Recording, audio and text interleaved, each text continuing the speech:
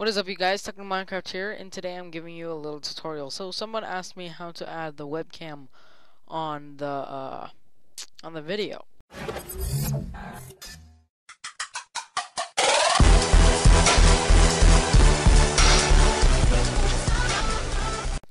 pretty much what you gotta do is when you're on Bandicam, you gotta open this before you start your recording.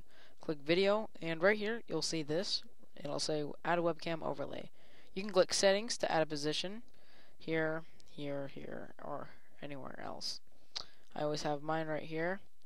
I'll just say I'm adding it, which it should be doing its stuff. Not right now though.